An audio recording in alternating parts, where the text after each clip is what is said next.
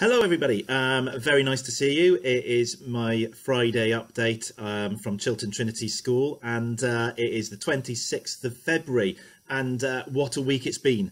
It's been incredibly busy here, and I think that you'll be really clear about the announcements that have been coming out and different headlines that you'll have seen about testing, home testing, catch up, summer schools, exams um, I'm hopefully going to use this video message and also the letters that have been coming out this week just to just to clarify a few things for you. I think it's um, it's important to look at the detail. It's important to look beyond the headlines. Okay, so um, you have had a number of letters from me this week. Um, the details have been coming out at different stages about what the return to school will look like for students. So let me kind of give you a summary about where we are. Um, so the Prime Minister on Monday outlined a roadmap for the return to whatever normality will look like, um, hopefully this summer, and um, hopefully we get to see our families, our friends, um, really quite soon. You know, I, I still haven't seen mum and dad, and I, I cannot wait to see mum and dad and uh, my new nephew, um, who's about five months old now and who I've not met. That is a hardship for myself, but actually that's a every single person has got different hardships that they that they have and have had to live with. So um, the roadmap announced that schools uh, children would all be back from march the 8th okay? Now what they also said was about testing now you know that testing is voluntary and we've had uh, the consent line closed this morning. Okay, so we're putting all of that together to give people times. But what we're looking at is two lateral flow tests before students come back. So next Wednesday and next Thursday. Uh, that'll be done alphabetically. The reason we're doing it alphabetically is so if you've got two or three children, then it means you only have to come in once and they can all come together. Um, so next Wednesday and Thursday, then the second test will be on Monday, the 8th of March. Once a student has tested, they will go straight home. Okay. If the test is negative, that student can come in the next day. If the test is positive, then obviously that student will have to self-isolate for 10 days alongside um, close contacts. Now, the reason we're going home that day is so actually we reduce the number of close contacts.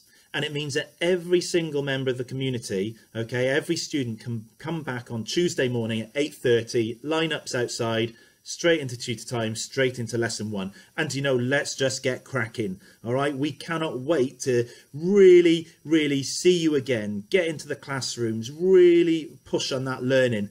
And you know, um, the teachers that I've all spoken to, we're, we're super excited really because sitting and doing this remotely is not in our best interest and it's not in our nature.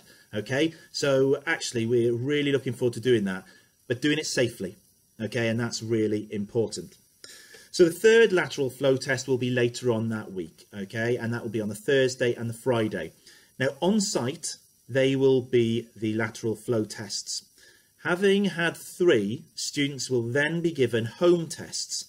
They are for the individual students, not families, okay? They will be coupled with instructions. Um, my wife has been doing home tests for the last um, six weeks because she works in a in a PRU in Weston-super-Mare, So she's had to do her home tests for the last six weeks. They're quite simple, they're quite straightforward, um, but it will take a little bit of time to just get used to that, okay? But again, just to reiterate, that that is for the students' use only, okay? Um, so yeah, we cannot wait for students to come back in. Uh, those students who are on buses, by the way, the buses will come next week, hopefully at 8.30 on the Thursday, and then on the Monday. And we're, what we're doing is getting the buses to wait so then they can take students home. So hopefully that will ease some people's concerns if you live out in Puriton or if you live out in Woolavington. Okay, so, um, so that should really help as well. We're expecting all students coming back in on Tuesday the 9th of March, therefore, in full school uniform. If there's PE that day, students will get changed. Okay, they'll get changed in the changing rooms and we're putting safety precautions in for that. Um, however, we expect everybody back in in uniform, please. And I think that's really important to get back into the habits of good practice, high expectations. Um, the students have been back in uniform this week when they're in school. And um, and for us, it's really important to get those expectations back to where they they were and where they need to be. And and as families, I think it's important to start talking about those now together and saying this is what we're going to be expecting. But um, we'll be um, back back following the same behaviour policies, same routines, and um, and I've heard that some students, particularly year 10 and year 11, are struggling to get up in the morning. So um, maybe that alarm needs to get a bit of practice and uh, and get, and getting up nice and early. Okay. Um, the final point regarding that is that details will come out about your time slots next early next week, and we're just putting that together because the consent forms were closed at nine o'clock this morning.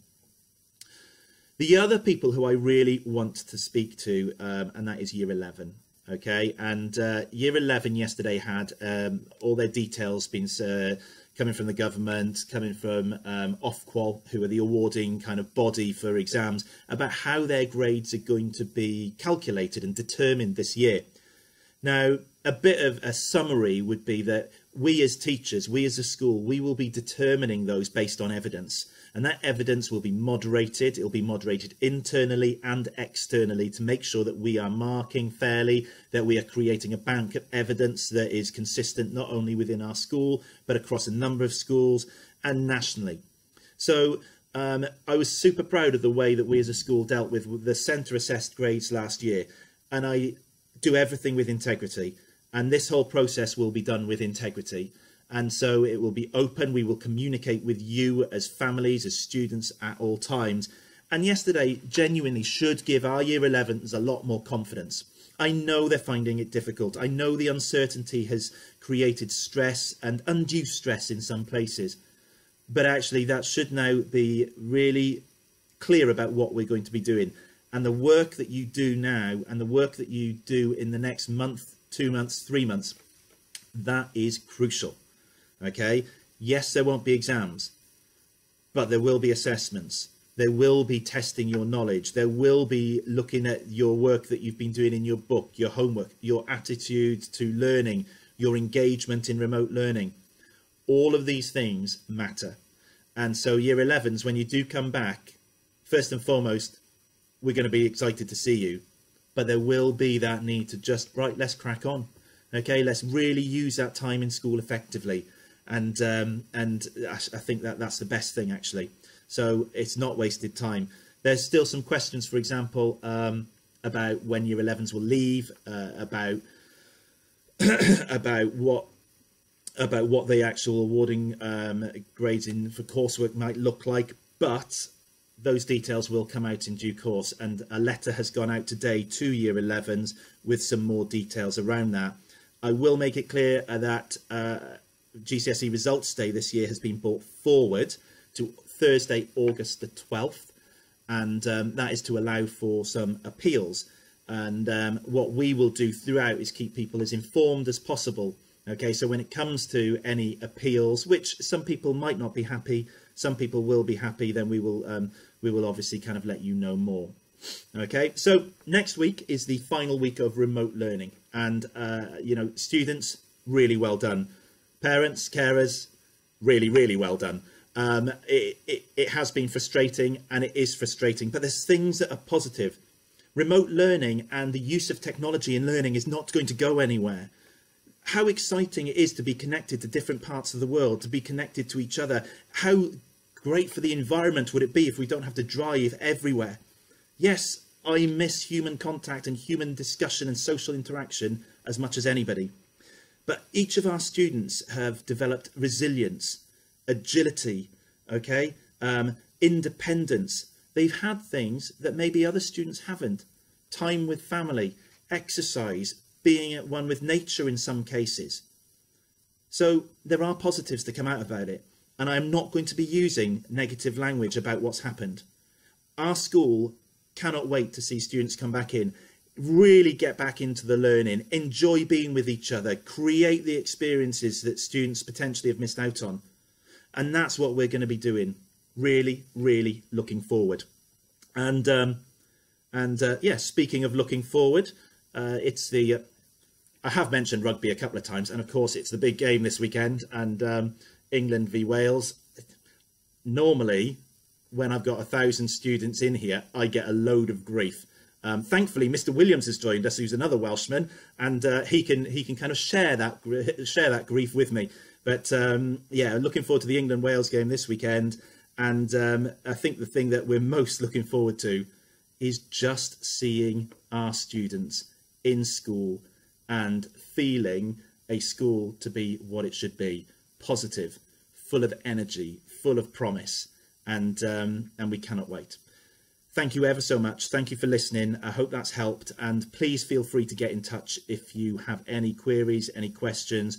You know the you know the details. You know the contact, and just please look at the website and uh, look after yourself and stay safe. Thank you.